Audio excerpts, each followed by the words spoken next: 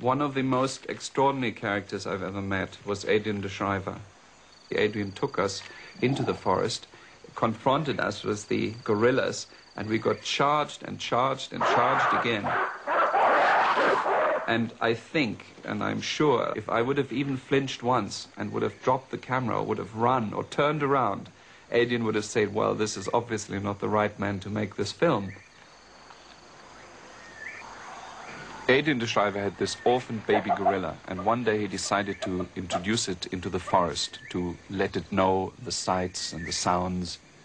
And suddenly we sensed the gorillas were right close. And Adrian stood there with the baby gorilla on his arm.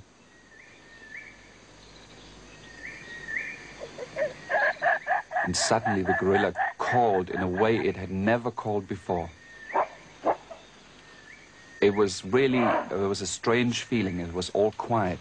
And suddenly we saw the leaves move, and there was Hannibal first, who looked at us.